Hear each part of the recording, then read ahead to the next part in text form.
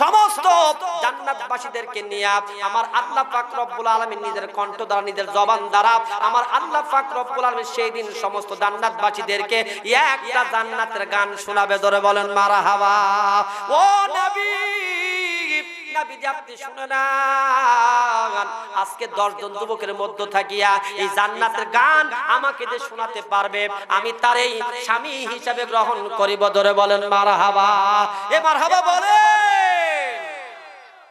বাইদান জান্নাতে যাব কি যাব না জানি না। আল্লাহর গাওয়া জান্নাতের গান বাইদান শোনার দরকার আছে না নাই? চিল্লা বলেন, আছে না নাই? নবী আমার মনটা ভরে গেছে রে মা।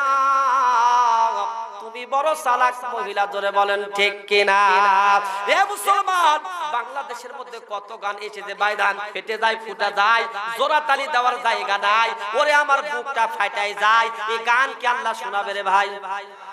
এই গান কি আল্লাহ শোনাবে? মানুষ এত পাগল হয়ে গেছে গান নিয়ে। গত কয়েকদিন আগে একটা গান শুনতেছিলাম, মানুষ একেবারে অনুষ্ঠান হচ্ছে, মানুষ পাগল পারা হয়ে হই হই চেইতে করে গান শুনতেছে। আমি কি গানের এক করে শোনাবো নাকি আপনাদেরকে? শোনাবো শোনাবো। কোন মহিলা, কোন শিল্পী আমি জানি না। ও মহিলা গান গাচ্ছে আখ খেতে ছাগল বন্দি, জলে বন্দি মাছ, নারীর প্রেমে পুরুষ বন্দি ঘুরাই বারো মাস। সখী গো, আমার মন ভালা না, জোরে কন্যা জোরে কন্যা মহিলা গান গাচ্ছে সখী গো ও আমার মন ভালা না। কালার সাথে পীড়িত কইরা সুখ পাইলাম না সখী গো ও আমার মন ভালা না। তোরে কন্যা আউযুবিল্লাহ আমি বললাম তোর তো মন ভালো হবেই না। বিয়ে করার আগে 30টা প্রেম। কথা কোন ঠিক কিনা? বিবাহ করার আগে করে ফেলেছো।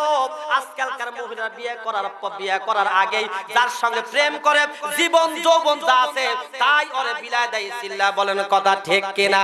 আমি বললাম তোমার মনটা বড় কালা তুমি হলো সব চাইতে বড় জ্বালা তুই বাংলাদেশ থেকে পালা। এই কথা কর না কে মানুষ পাগল হয়ে গেছে। হাই রে লাপালাপি গান শোনা এ দোস্ত আল্লাহ কি এই গান শোনাবে? কথা বল শোনাবে? শোনাবে। তাআলা এমন গান শোনাবে। এই গান শোনার পরে মানুষের দিমাগ পরিবর্তন হয়ে যাবে। মানুষের কলজাখানা জান্নাতের মধ্যে শীতল হয়ে যাবে, সুবহানাল্লাহ বলেন। জোরে বলেন, সুবহানাল্লাহ।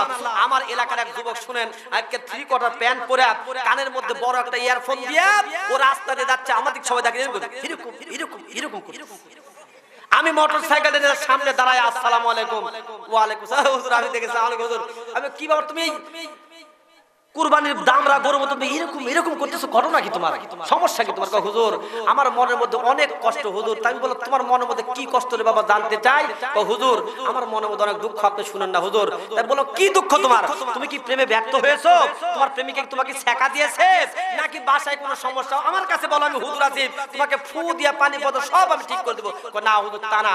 আমার যে মনের মধ্যে দুঃখ, এইটা জীবনে আর কোনোদিন মোচন হবে না। আমি বললাম, তোমার প্রেমিকা কি মরে গেছে? কয়, না তাও নয়। সমস্যাটা কি কখন শুনেন? আমার প্রিয় শিল্পী আয়ব বাচ্চু মরে গেছে। কি একটা মুসিবতে পড়ছি আমি? ওর শিল্পী আয়ব বাচ্চু মরে গেছে এই জন্য অনেক কষ্ট তার মনের মধ্যে। আমি বললাম তোমার শিল্পী আয়ব বাচ্চু মরে গেছে আরে কি দুঃখ কষ্ট তোমার বেদনা গো?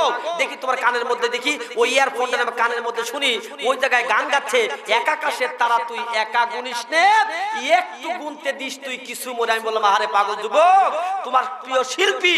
বর্তমানে কবরের মধ্যে বসে বসে আকাশের তারা গুনতেছে চিল্লা বলেন কথা ঠিক কিনা? কথা বলেন কথা বলেন ঠিক কিনা? এত পাগল ভক্তবৃন্দ তার আছে, ও লোকটা মরে গেছে, দোয়া খায়ের বাদ দিয়া একটা ফুলের গিটার বানায় ওর কবরের মধ্যে দিয়ে দিছে, চিল্লা কর, নাউজুবিল্লাহ। নাউজুবিল্লাহ বলেন বলেন, নাউজুবিল্লাহ বলেন। এই দোস্ত, শুনেন এই রকম পাগল মার্কা যুবক বাংলাদেশের মধ্যে আছে না নাই? কথা বলেন কথা বলেন, আছে না নাই? আমার ভাইরা বন্ধুরা শুনে নেন। আগে কত সুন্দর জিনিস ডিজিটাল আমরা গান শুনতাম। গানগুলি শোনার পরে কলজাখানা ভরে যেত। শীতল হয়ে যেত। নবী মোর পরশ মনিত নবী মোর সোনার খনিত নবী নাম জপে যে জন সেই তো দুজাহানের ধ্বনি চিল্লা বলেন ঠিক কিনা?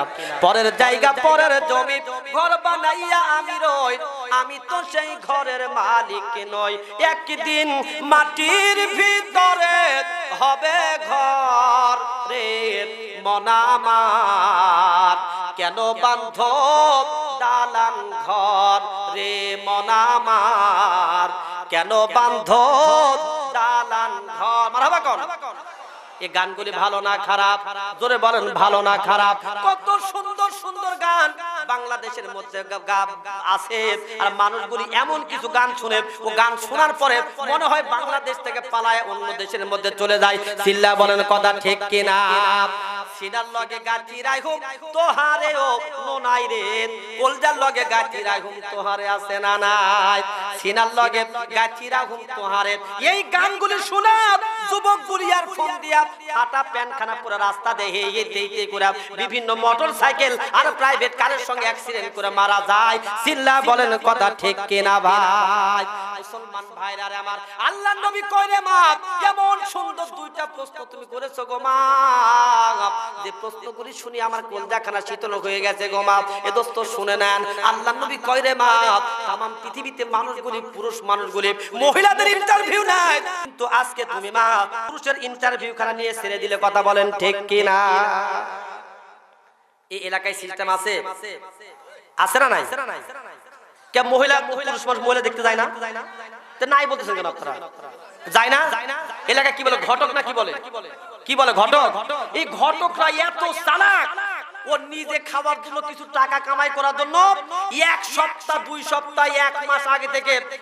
মহিলা দেখা শুরু করে কথা ঠিক কিনা? একবার মেয়ে, একবার পুরুষের বাবা যায়, একবার চাচা যায়, একবার নানা যায়, একবার দাদা দাদার আবার এত চালাক।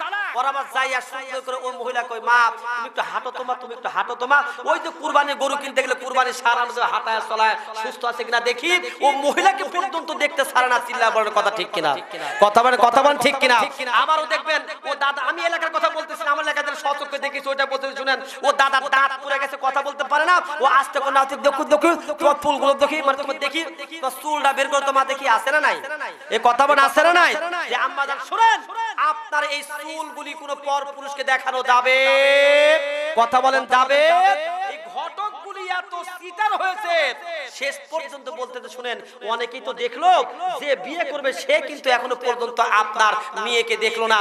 একটা বার শেষবারের মতো দেখার দরকার। যুবক, বুয়েটে পড়াশোনা করে ইঞ্জিনিয়ার সাহেব, ও এসেছে। না, একেবারে মেয়ের বাবাও ডিজিটাল চালাক। একেবারে আপনাদের দিনাজপুরে নিয়ে যায়। আটা, ময়দা, কাদা লাগায় ওই যে বিস্ফোরা ছিল মুখের মধ্যে, ও প্লাস্টার করে হাজির হয়েছে। যুবক, দেখে যুবক কই, আহারে! আরও দশ বছর আগে বিয়ে না করে বড় ভুল করেছি, বড় ভাই কথা ঠিক কিনা? কই, এত সুন্দর তোমার চেহারা, মনে হচ্ছে আকাশ থেকে নেমে আসা, এক গুচ্ছ পরির মধ্যে এইটা পরি যুবক কই, এখন আমি মরি, তোমাকে বিয়ে না করে কি আমি পারি? বলতেছে, বাবা, আমি রাজি, এখন তুমি দেখো কাজী, কথা কন ঠিক কিনা ভাই? কথা কন কথা কন কথা কন। যুবক তো দেখে মাথা খারাপ। ওই যে সিটার ঘটক, ও সিটার ঘটক হচ্ছে, আলহামদুলিল্লাহ, মাশাআল্লাহ। দুই পক্ষ যখন হয়ে গেছে, আর তো কোনো আপত্তি নাই। তো ছেলের বাবা, আপনার কি কোনো সাওয়ার আছে? ছেলের বাবা হচ্ছে ডিজিটাল চিটার ও বলতেছে, না না, নাউজুবিল্লাহ আস্তাগফিরুল্লাহ নাও তুকু তুকু তুকু তোবা তোবা তোবা। আমি আবার টাকা যৌতুক নিব? এইটা নিয়ে তো মান সম্মান থাকে না। এটা কোরআনে নিষেধ করেছে, আল্লাহ নিষেধ করেছে, যৌতুক নেওয়া হারাম। আমি এটা নিতে চাই না। আমার দুইটা সন্তান, গত বছর আমার বড় ছেলেটা বিয়ে দিয়েছি। এই বড় ছেলেটা ম্যাট্রিক পাস ও ম্যাট্রিক ফেল করেছে করে নাই। পরে যখন বিয়ে দিলাম, মেয়ের বাবা খুশি হয়ে আমার এই বড় ছেলের পাঁচ লক্ষ টাকা যৌতুক দিয়েছে। ও হলো ডিজিটাল চিটার কি বলেন তো? এই ছেলে বাপ কি? ডিজিটাল চিটার বলতে তো আমি কিছুই চাই নাই। ওর মেয়ে ওর বাড়িতে যাবে। এই কারণে একটা মোটর দিয়েছে। এরপরে কিছুই আমি চাই নাই। ও বাড়ি থেকে মেয়ে ঠান্ডা পানি খাবে। এই জন্য একটা ফ্রিজ দিয়েছে। আরও যা যারা খাট তোষক শোকেস ওয়ার্ড্রপ যা লাগবে সব আমার বাড়ির মধ্যে দিয়েছে। শুনেন ওইটা তো একটা আন্ডার ম্যাট্রিক ছেলে। এইটা দেখেন ছেলে জেমস জেমস এইটা বুয়েট থেকে পাস করেছে ইঞ্জিনিয়ার। ও শুধু চাকরি করবে আর কারি টাকা খালি আমাকে দিয়ে দেবে। আমি কি টাকা চাইতে পারি? ওকে টাকা চেয়েছে ও ডিজিটাল একটা সিটার ও বুঝাতে শুনেন আমি কুরবানির জন্য দুইটা গরু পুষেছি এই গরুর যে সবচেয়ে বেশি দাম দিবে আমি তার কাছে বিক্রি করব কথা বলেন ঠিক কিনা? কথা বলেন কথা বলেন ঠিক কিনা? মেয়ের বাপ কি করবে এখন মেয়ে বিয়ে দেওয়াই লাগবে? ওই যে প্লাস্টার করে নিয়ে এসেছে ওরও যত সিটার প্লাস্টারের মধ্যে আছে চিল্লা বলেন কথা ঠিক কিনা? ভাইজান বিয়ে হয়ে গেছে এক সপ্তাহ ধরে এলাকার মানুষের ঘুম নাই ও বক্স বাজায়া। এলাকার ঘর বাড়ি, বিল্ডিং কাঁপায়া মানুষের ঘুম হারাম করে ও সারা রাত ধরে গান বাজি গান বেজেছে। কথা বলেন ঠিক কিনা? কি সুন্দর গান কবে আইবো আমার পালারে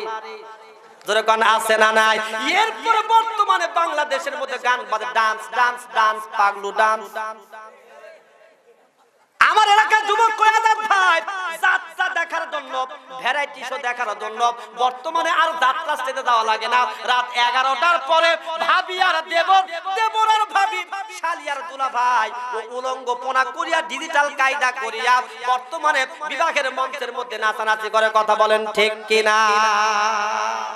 নাউজুবিল্লাহ বলেন, এই কারণে বিবাহের মধ্যে সুখ শান্তি আসে না। সুন্নাত তরিকা বিবাহ হয় না। সুন্নাত তরিকা বিবাহ না হওয়ার কারণে ওর পেটের মধ্যে থেকে যেটা হয়, ওটা হলো এখান থেকে বুঝতে হবে ভাইদান এই কারণে সংসারের মধ্যে অশান্তি লেগে যায়। এই বিবাহের মধ্যে আল্লাহর নবীর সুন্নাত গুলির এই কথা বলেন ঠিক কিনা? মুসলমান ভাইরা আমার, আল্লাহর নবী দেখে দেখে আমি দশজন যুবকের কাছে চলে যাই, মনে আছে না নাই? দশজন যুবকের কাছে আল্লাহ নবী যায় দেখে দেখে বলল রে মা দশজন যুবকের কাছে দিয়ে বলল, রে বাবা, রে যুবক, শুনে নাও, এই মহিলা তোমাদের জন্য দুইটা প্রশ্ন করেছে। এক নাম্বার যুবক, তুমি কি এক, দুইটা প্রশ্ন জবাব জানো? এক নাম্বার যুবক কয়, না না, জানি না। দুই নাম্বার যুবক কয়, আমি পারি না। তিন নাম্বার যুবক কয়, সরি। এরকম করতে করতে নবী আমার চলে গেছে ভাইজান, দশ নাম্বার, নয় নাম্বার যুবকের কাছে। নয় নাম্বার যুবক, তুমি কি দুইটা প্রশ্ন জবাব জানো? নয় নাম্বার যুবক না না, ইয়া রাসূলুল্লাহ এই দুইটা প্রশ্নের জবাব আমিও জানি না চিল্লা কোন মারহাবা। এই দুইটা প্রশ্নের জবাব কি আপনারা কেউ জানেন? জোরে বলেন, জানেন। এ দোস্ত, এই দুইটা প্রশ্ন জানার দরকার আছে না নাই? মুসলমান ভাইরা রে আমার, আল্লাহর নবী তাকায় দেখে 10 নাম্বার যুবক মাথাটা নত করে দাঁড়া আছে। এ যুবক, এই দুইটা প্রশ্নের জবাব তুমি দাও। যুবক রে, এই দুইটা প্রশ্নের জবাব না দিলে মান সম্মান খানা থাকে না। যুবক কোনো কথা কয় না। যুবক আল্লাহ তাআলার কাছে ডেকে ডেকে বলল, মাবুদ, রে বার এলাহি মাওলা, রে মাওলা, এই প্রশ্নের জবাব আমি জানি না মাবুদ রে। এই দুইটা প্রশ্নের জবাব যদি আল্লাহ তাআলা তুমি জানায়া দাও, তবেই আমি জানতে পারি, ধরে বলেন, মারহাবা। ওগো আল্লাহ, গফুরুর রহিম আমাই করিও পাপ। আমি পাপি, গুনাহগার বান্দা, দয়াল, আমি পাপি, গুনাহগার বান্দা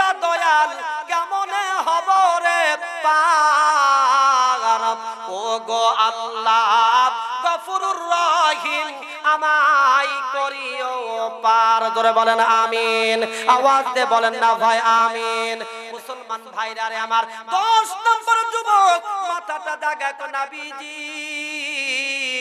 ইয়া রাসূলুল্লাহ, ইয়া নাবিজি, এই দুইটা প্রশ্নের জবাবই আমি জানি ধরে বলেন মারহাবা। মুসলমান ভাইরা রে আমার, আল্লাহর নবীর কলজাখানা পড়ে গেছে রে যুবক। দুইটা প্রশ্নের জবাব দাও, আর মেয়েকে বিবাহ করে ঘরের মধ্যে নাও। যুবক কই নবী না না ইয়া রাসূলুল্লাহ হাবিবাল্লাহ নবীজি, এই মহিলাকে বিবাহ করার আগে আমারও একটা শর্ত আছে ধরে বলেন, সুবহানাল্লাহ। আল্লাহর নবী বাবা, বিবাহ করার জন্য এত কিছু করলাম, কেন শর্ত?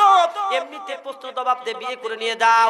যুবক কয়, না গো নবী গো, ইয়া রাসূলুল্লাহ, ইয়া হাবিবাল্লাহ নবীজি। ওই মহিলা ইচ্ছা করলে দশজন যুবকের একজনকে পছন্দ করে বিবাহ করতে পারত। কিন্তু না না, এই মহিলা যখন আমাদেরকে সাথ দেয় নাই আমরাও তাকে সার দিতে চাই না। আমার শর্ত মোতাবেক না হলে আমিও তাকে বিবাহ করতে চাই না। চিল্লা বলেন, মারহাবা। নবী আমার বলল যুবক, তোমার শর্তখানা তুমি বলো। যুবক বলছি আমার একটা মাত্র শর্ত হলো ও মায়ের নবী, আপনি শুনে নেন, এক নাম্বার প্রশ্নের জবাব, আসমান আর জমিনের মধ্যে সবচাইতে দামি বস্তুর নাম। এই জবাব খারাপ আমি দেব বিভাগের আগে। আর দ্বিতীয় নাম্বার প্রশ্নের জবাব খানা জান্নাতের গান খানা আমি বাসর ঘরের মধ্যে শোনাবো ধরে বলেন, মারহাবা। এ মারহাবা বলেন আমার ডেকে ডেকে বলল রে যুবক তুমি বড় সালাক যুবক জোরে বলেন ঠিক কিনা এই যুবক চালাক না বোকা। এই কথা বলেন চালাক না বোকা। আল্লাহ নবী করে যুবক তুমি একটু দাঁড়াও, আমি হাত কাটা মহিলার দরবারে যাই। হাত কাটা মহিলার দরবারে যাই, আল্লাহ নবী, আসসালামু আলাইকুম রাহমাতুল্লাহ। ভিতর থেকে নবীজিকে গান শোনাতে, নবী গো, ইয়া রাসূলুল্লাহ, ইয়া হাবিবাল্লাহ, নবীজি, আপনি তাড়াতাড়ি করিয়া ঘরের মধ্যে আপনি আসুন। আল্লাহ নবী ঘরের মধ্যে যে বলল, রে মা, যুবকগুলি বড় চালাক গো মা।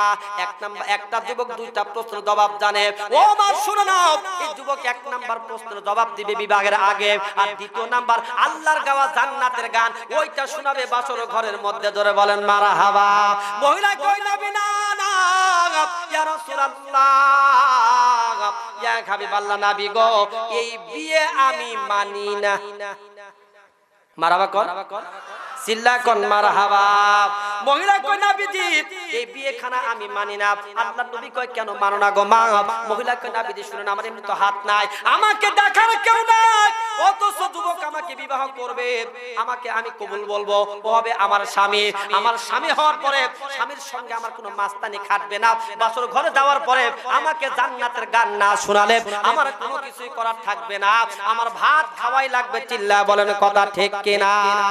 মুসলমান ভাইরা আমার মহিলা কইনা বিদিত এই যুবক বাসর ঘরের মধ্যে যাই আমাকে জান্নাতের গান শোনাবে। এর একটা গ্যারান্টি চাই ধরে বলেন, মারহাবা। এ মুসলমান শেষ দোয়া করে আপনারা যে যাবেন, আপনাদেরও একটা গ্যারান্টির দরকার আছে না নাই? কারা কারা শেষ দোয়া করে যাবেন? হাত তুলে দেখেন তো।